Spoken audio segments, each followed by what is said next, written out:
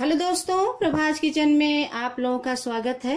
चलिए दोस्तों, आज हम आप लोगों के लिए लेकर आए हैं यूपी का फ़ेमस आम का मीठा अचार।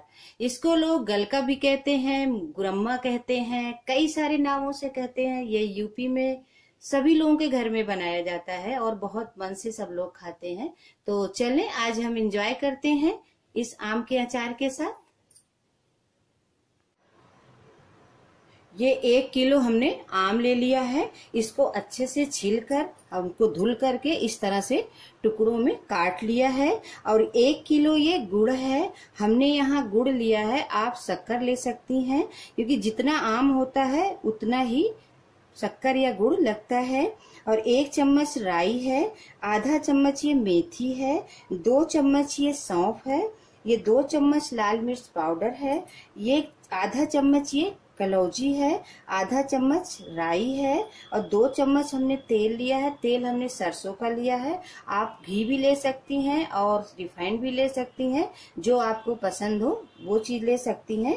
एक चम्मच हमने जीरा लिया है, आधा चम्मच हींग है और ये नमक है। नमक हमें स्वाद के अनुसार डालना है और ये पानी है। तो चलिए, आज हम बनाते हैं आम का मीठा अचार। ये हमने एक कढ़ाई ले लिया है, इसको गैस के ऊपर चढ़ा दिया है। अब इसमें हम ये तेल डाल देंगे। ये तेल हमारा गरम हो गया है। इसमें हम पहले ये हींग और जीरा डाल देंगे। और गैस हमारी एकदम धीमी रहेगी। अब इसी में हम अपना ये राई डाल देंगे।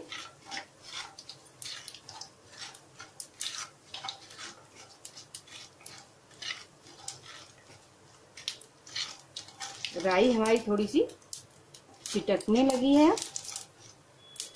अब इसी में ये कलौजी डाल देंगे।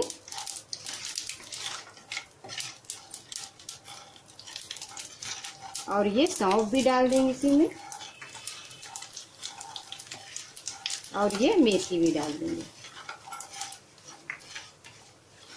ये बहुत अच्छा अचार बनता है। हम लोगों के यहाँ तो आम जब से आना शुरू हो जाता है, तब से ये बना के रखा ही रहता है।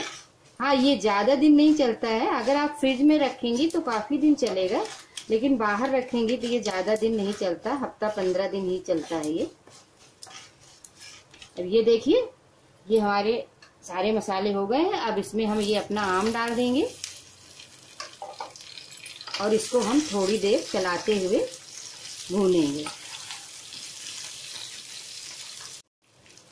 इसको हमने दो मिनट चलाते हुए भूना है। ज़्यादा देर नहीं भूनना है, सिर्फ़ दो से तीन मिनट तक भूनना है। अब इसमें हम ये पानी डाल देंगे और ये नमक डाल देंगे और ये लाल मिर्च पाउडर डाल देंगे। अच्छे से हम इसको मिला देंगे।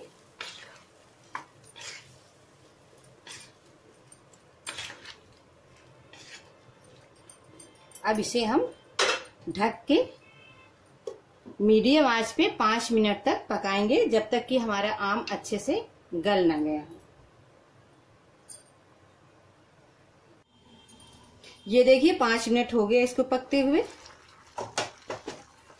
ये देखिए, अच्छे से ये गल गया है, ये देखिए आम हमारा, ये देखिए पूरी तरह से गल गया है। अब हम इसमें गुड़ डाल देंगे।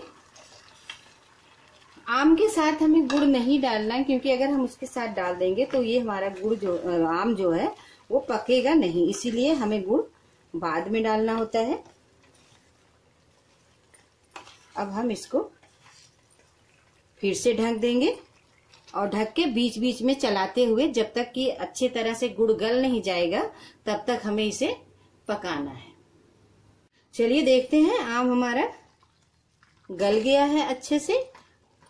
ये देखिए, लेकिन अभी इसको हम दो मिनट और पकाएँगे ताकि जो इसका मीठापन है, वो आम में अच्छी तरह से भिन जाए।